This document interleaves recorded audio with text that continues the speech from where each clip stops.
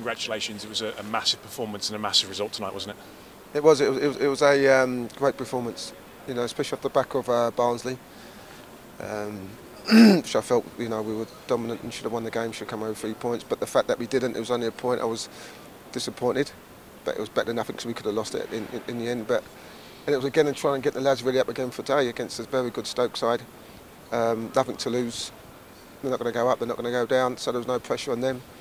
Uh, the pressure was all on us, and um, you know I tried to play it down a bit. So it's just another game, but it's hard to do that, you know, because you know players know in their mind that it's a game where if we can win, you know, especially obviously Barnes not playing and Derby not playing, that was our game in hand, you know, over Derby.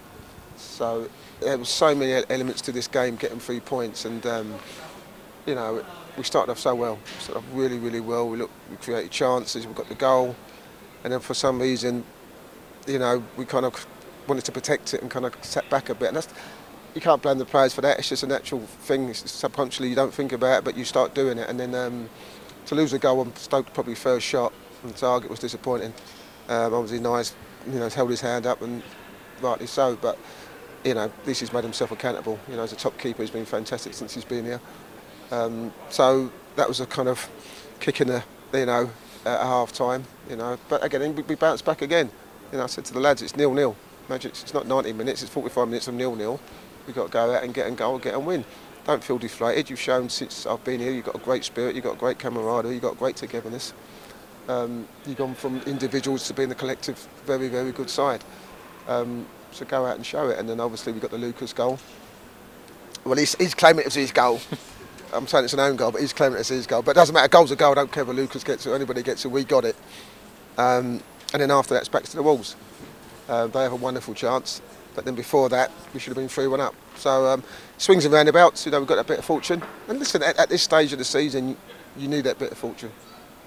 And you, of course, you know, as you mentioned, the team had to go through, you know, it was a bit of a roller coaster tonight. You know, like you said, had to absorb that pressure towards the end and all the rest of it. And you know, it's about managing the game well and mm. you know, and really showing that character, which is that's what it's that relief at the final whistle, but also you know, it deserved three points.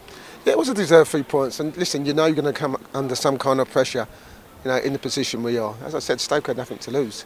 You know, all the pressure was on us. So when you're holding on and holding on, you know, you do rely on that little bit luck. You do rely on balls just whizzing past the post you know, another day, you know, they could have scored a couple of goals, but then so could have we. Tom Dele had a wonderful chance. So listen, it's where we are. You take what you get, you know, at this stage of the season, six games to go. But I was proud of the lads. I was proud of the fans. I felt today. I felt today there was a togetherness about everyone at the club, you know, the fans included. I think sometimes there's a disparity between clubs and football fans because of the money people earn, but I just felt today there was just togetherness from everyone and that willingness for all to do well, even when it went to 1 1 you know, the fans was behind us, one there. You can sense them willing us to, you know, to get where we need to get to because it's important. It's a wonderful stadium with wonderful fans. We want to keep this team in the championship. So, and we're showing that in the performances. You and know, that's the foundation to build on, isn't it? It's got to be, it has to be, and it's all about performances. You know, as I said, we've been we've been outstanding since I've come here. Take away the second half of Forest, but in general, the performances have been very, very good, and they've got they've got better and better and better, and and, and there's a belief now all around the stadium. There's a belief with all the players, and we can't get complacent now. Things can change, you know. We've got another game against Stoke, sorry, Cardiff, sorry. Um, so we'll rest up our legs, and if we can get three points on Saturday and things go for us, then great. But you know, today's a day we should enjoy, and you know, thank all the fans and all the, you know, especially the players. You know, they were out on their feet. Now, people don't really understand that when you know you go to Barnsley emotionally and physically, it it, it, it, it, it can do you. It can really, it can really tire you out, and we put so much effort into that game. Uh, so to come here four days later and play the way we did, fully deserved. And some big individual performances tonight, weren't they? You know, yes. Just the way that uh, you can you can reel them off really, but you know some massive performances just from individuals, but and also collectively. Yids was absolutely. You can see why Yids is going to the World Cup. It was absolutely immense, and you need that. Sometimes you need when when you get a little bit nervous, you need people to stand up and and Yids did that from the first minute to the last. You know, it was it, it was absolutely amazing. You know, and. Um, and he's a top guy. The lads love him. He's, he's a leader. He speaks. And you can, listen, you can probably say that everyone was great. You know what I mean? But for me, Yid was, you know, he was the talisman of this team. But listen, it's not about individuals. We have to do this collectively. Um, so I don't really want to single people out. You know, Lucas worked as hard as he's probably done for a long time. Um, so listen, this is what it takes. You know, it, it's going to take to go that extra yard. You know, we need to keep going that extra yard until we get where we need to get to. And they're all buying into it, they're all doing it, and the fans can see it in their performances, and everyone's trying to get behind us, and that's the most important thing.